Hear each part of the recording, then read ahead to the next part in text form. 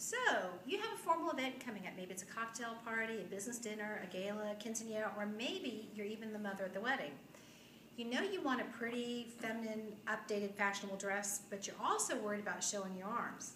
That's not uncommon. Most women really do worry about their arms, and at the very least, it's their upper arms. If you found an adorable, updated dress that doesn't have a sleeve, don't worry, there's so many fixes to this. We have lots of easy tricks to this. This cute little dress right here has a butterfly sleeve. Now this is just a little flounce that covers the upper arm. It's updated, it's young. Think Gatsby. It's fresh, it's fashionable, it works really well. Now this side is not covered, but we have a quick, easy fix for that. This dress comes with a stole. If your dress comes with a stole, you are golden. Stoles can be used so many different ways. Now I will tell you, most department store dresses don't have the option of stoles if they don't come with a stole. If, however, you are shopping at a specialty store, usually those manufacturers and designers will give you the option to order a stole or at the very least order fabric to make a sleeve or make a stole. If you have a stole, it's so easy. You can of course use it to drape over the shoulders, everyone knows that. But if you don't want to hang on to your stole, here's a really easy quick tip.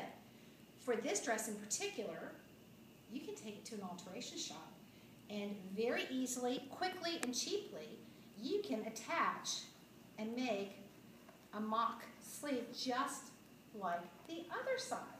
Now, because we're dealing with one layer of fabric, it's a quick, easy fix. And this way you have both sides covered. If you have a dress that doesn't have sleeves, you can do this trick too.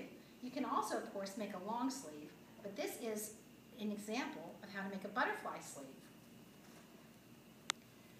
this darling gown over here, beautiful detailing to it, but you know what? No sleeves. Well, if you don't have sleeves, you don't have to worry.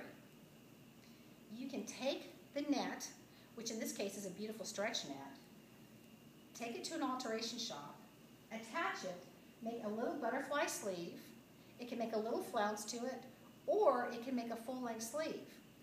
A very easy cheating way to make a stole that will stay in place and I'm going to use this dress over here, is to take your stole this way, take it to the alterations, you can gather it on one side, tack it under the arm, so the wearer's arm will come through this way.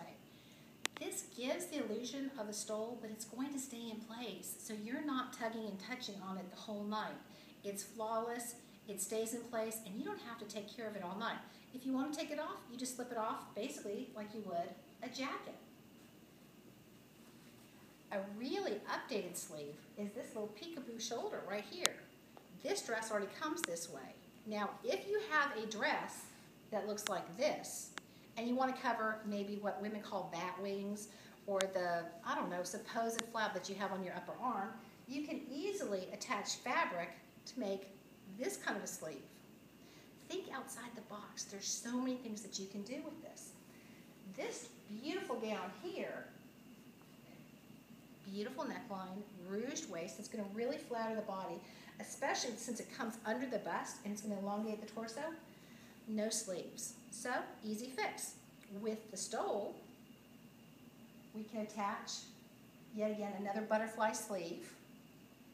We can, I'm to put this on my shoulder, we can make a full length sleeve to go with it.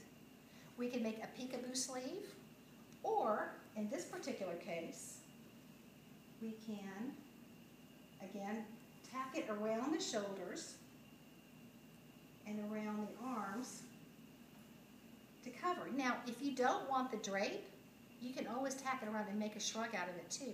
We've done any number of things with this, but the whole key to this is be creative, make it yours. It's so easy to cover your arms, and in the end, you'll have a one-of-a-kind dress. It's really that simple.